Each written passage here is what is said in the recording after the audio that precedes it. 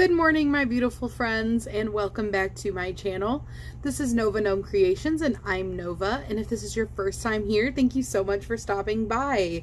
If it's not your first time here, welcome back, my Gnomie. It is so good to see you this morning. How are you guys doing today? Let me know down in the comment section what you said. I am doing pretty good. Um, well, I'm making it a good morning. You ever have those mornings where you just feel off when you wake up? Yeah, I think we all do. but I just, I felt really off this morning. My back hurts again. And I was just like not feeling it. Um, so I was like, you know what? I'm going to make myself a fancy coffee. So, um, it's kind of, uh, the top has started to melt already, so uh, it's not as pretty as it was, but I'm using my Fur Mama mug. And to show you what it looks like inside, I'm just going to bring you right up to it.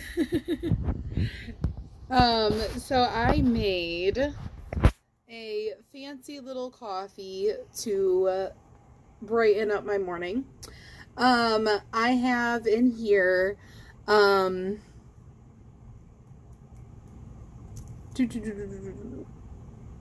salted caramel mocha coffee and gingerbread cookie dough creamer, which I just used the last of, and then um, a maple whipped cream. And then I sprinkled some, some cinnamon over the top.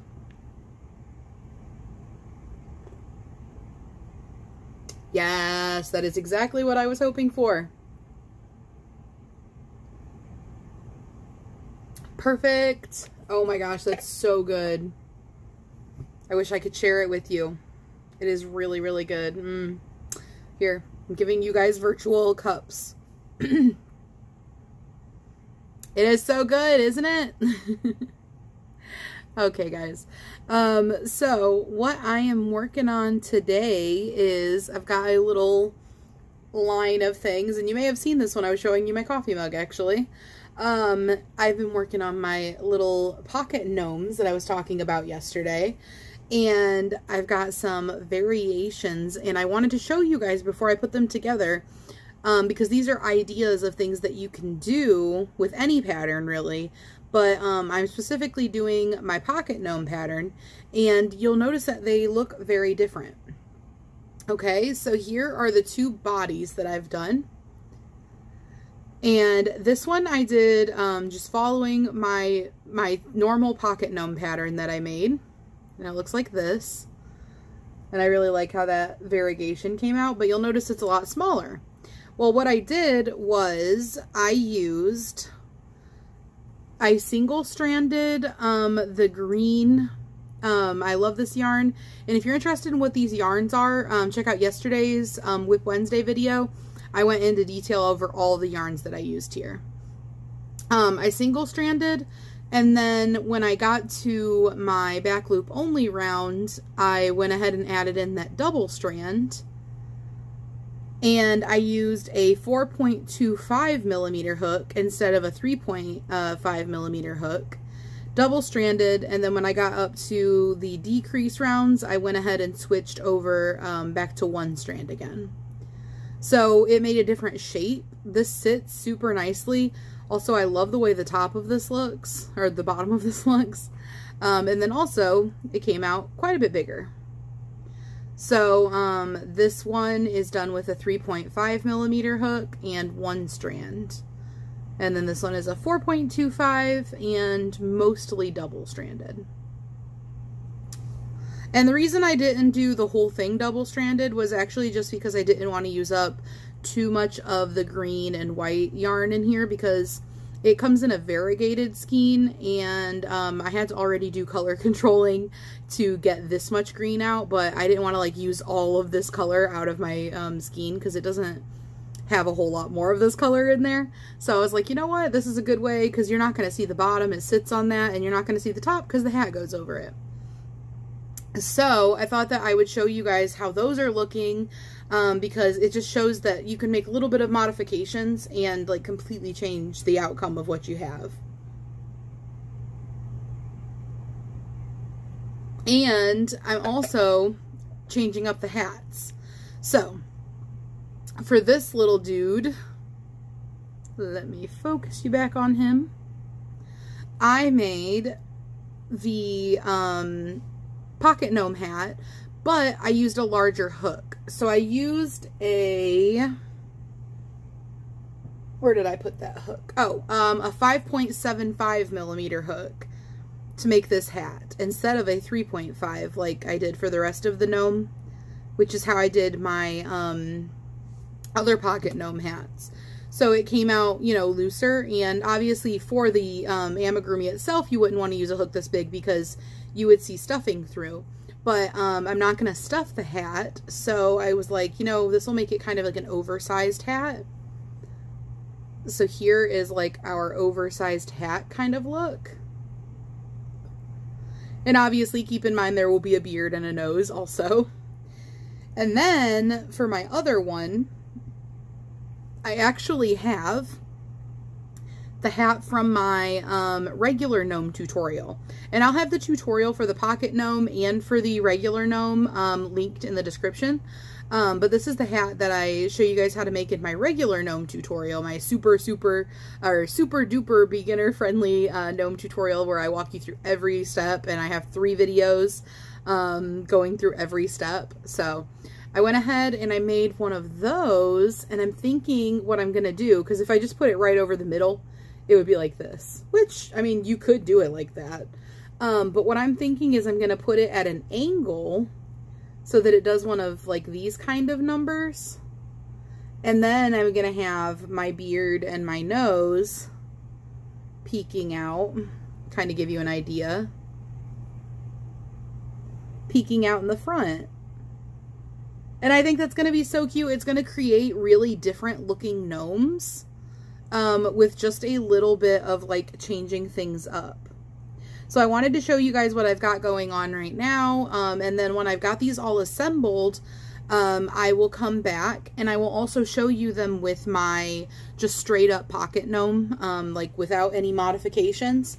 Oh, and then I've got, um, as far as noses got, noses go, I've got one big nose because I had like a surplus of noses from when I was trying to like figure out the sizing on how I wanted to do my noses. Um, at this point, I have this one larger nose left and I'm thinking I might use it on this green one, but I'll have to see how it looks.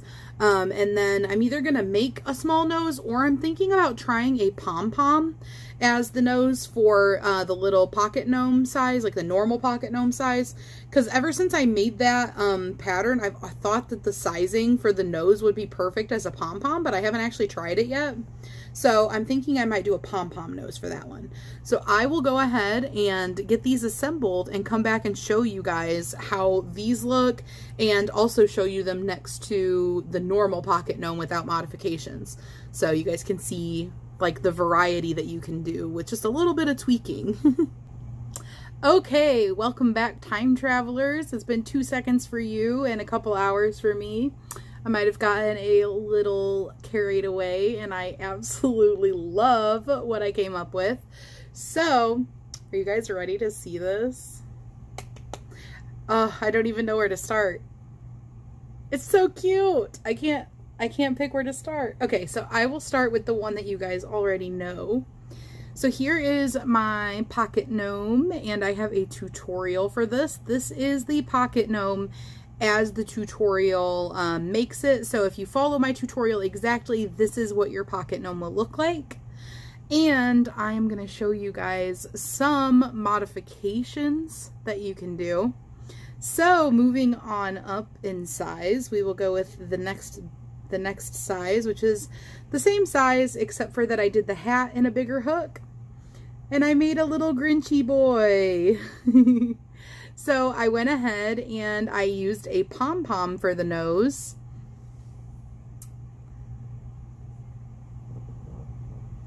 Focus, you guys. I used a pom-pom and I did a little green grinchy kind of colored pom-pom. And then I also used a sparkly tinsel pom-pom for the top of the hat. So this is the one that I used, the 5.75, I believe. I keep forgetting. Yes, 5.75 hook. Um, and then this is what it looks like normally if you use the 3 millimeter hook, which is the same size that you use for the rest of it.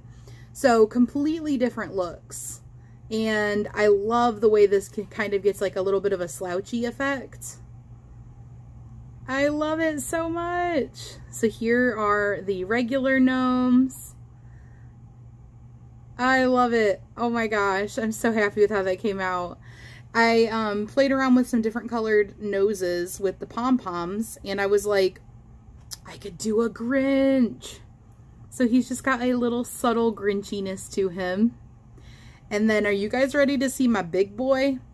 Okay, so this is the one that I double stranded and then I used a big nose and I used the hat from my regular tutorial. And bum ba da ba. So there we go. so there's the size differences. And then let me show you. Ah, I love it. So I went with like a Christmas tree kind of theme for him. He's got a tinsely kind of pom-pom on the top and a bow, kind of giving me like Whoville vibes. I kind of went with like, I've got it like a little bit off-centered and sort of like leaning a little bit. It reminds me of like how the Who's have their hair. and then I put little tiny pom-poms on there as ornaments. And then I twisted together some of this glint eyelash. These are both from the Hobby Lobby clearance um, months ago, so these are no longer available, but you could use whatever you find that's like these. Um, this is the Glint Eyelash Yarn Bee, and it's in the color Kelly, um, which looks like this. And then this one is For the Moment Silver. So just to give you an idea, if you're looking for something like these, the For the Moment is 100% polyester. There is 62 yards in here. It's a number six super bulky and it recommends a nine millimeter crochet hook.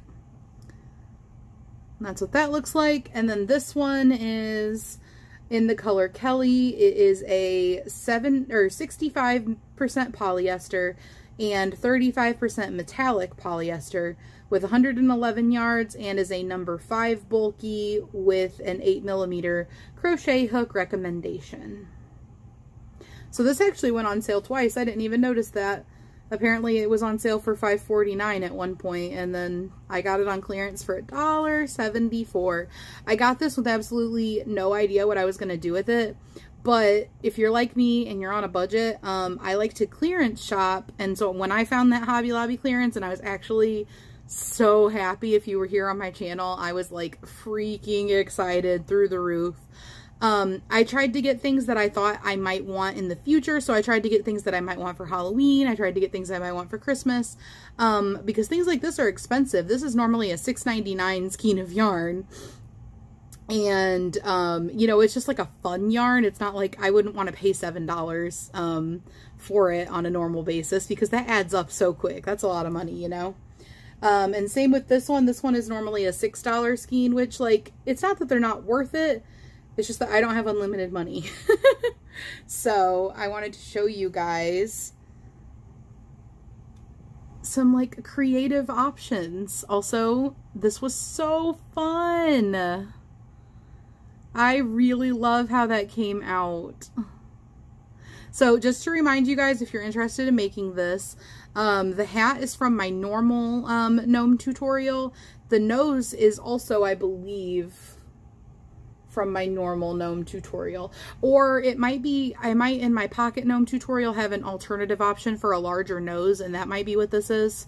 Um, like I said, I had... Um, I had a surplus of random sized noses from when I was creating the patterns for my gnomes, um, trying to figure out what size noses I wanted and what style of nose. This is like a complete ball.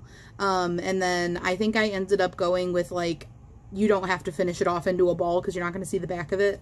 But easy peasy. It's in uh, my pocket gnome tutorial. I think I have the larger nose option if you're interested. Then this one is just with a pom-pom as the nose and using a bigger hook size for the hat. Everything else is the same. The beards are how I showed how to do them in the uh, tutorial.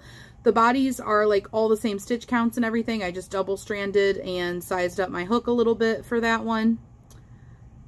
And everything else is the same. Like the hat is the same and then this hat is the same from my other one. So these are totally things that you guys can do if you're interested. Try to hold all of these at one time. But here are my little Christmas gnomes. Here's the gang. ah, I love it. I'll try to get some good pictures and insert those in here for you guys.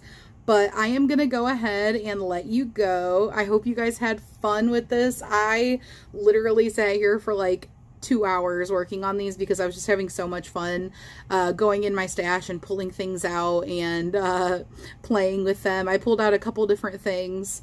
Um, coming up with the ideas. I'm just so, I love it. Oh, by the way, um, these pom-poms, these little ones, um, came from the Dollar Tree.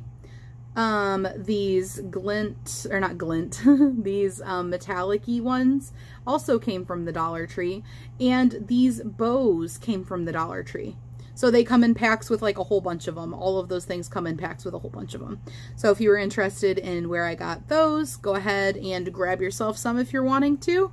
Um, and I will probably be playing around with those things more throughout the season, um, especially my 25 days of Christmas. That's going to be coming up in December.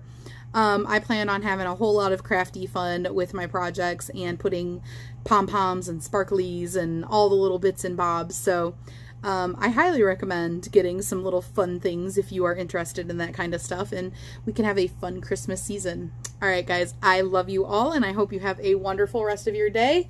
One more day and then it is the weekend. Love you guys. Bye.